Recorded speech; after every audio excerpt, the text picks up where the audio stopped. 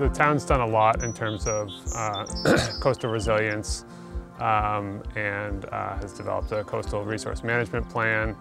Um, this uh, process, this project is very consistent with a, a, lot of the priorities that have been identified um, by the residents for the community. Um, and uh, you know, our landings are, are really our, um, you know, some of our most frequented places, both by residents and by visitors. And so I know that there have been there's been a lot of interest in this project, uh, a lot of questions from folks, uh, which starts a conversation about the, the benefits uh, of the work being done here.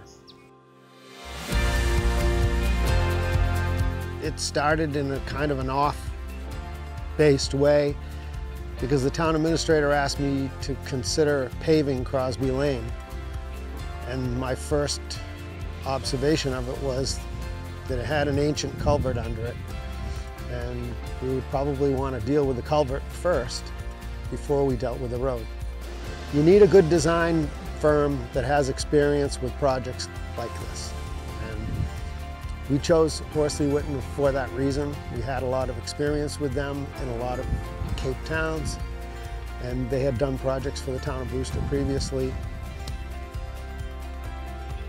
We have uh, raise the height of the road by about a foot and a half over what it was previously to be protective for sea level rise impacts. We modeled flow through the system to arrive at this five foot by five foot box culvert to replace that former 18 inch wide um, iron pipe that was here. So a big, big, big increase in size that allows full tidal flow from one side to the other. The bioretention system behind me is uh, gathering stormwater off both the parking lot over my left shoulder and the roadway coming down from my right shoulder and treating it through four bays. You can see this small bit of, we call this drivable grass, that, that white concretey looking stuff. Um, so that drops out the heavy particles first. The water then overflows that spillway into the actual bioretention cell, which is the flat area with the uh, salt marsh grass popping out of it that will um, treat the water both through infiltration through the ground and through biological processes before overflowing back into the salt marsh again. This project's been very interesting to us here at the Crosby Culvert. Uh, we've been kicking this idea around for quite a while. We've had a few others in town that we've uh, fixed, but this one's kind of unique because it's at the upper headwaters of Namskaket Marsh. Namskaket is an area of critical environmental concern designated by both the town of Brewster and Orleans because of its unique features and wildlife and habitat values.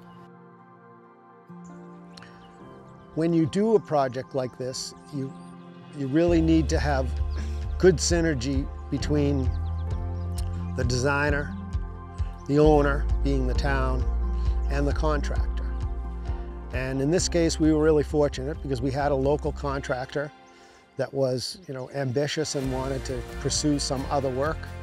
And so a company called MCE Dirtworks was the low bidder. The, this team has been fantastic throughout. Everyone from the town side, from the contractor at Dirtworks, from all of the funding agencies at NRCS and Cape Cod Conservation District, uh, Association to Preserve Cape Cod, helping out with the monitoring pre and post. Everyone is really into this and, and the project has come out fantastic.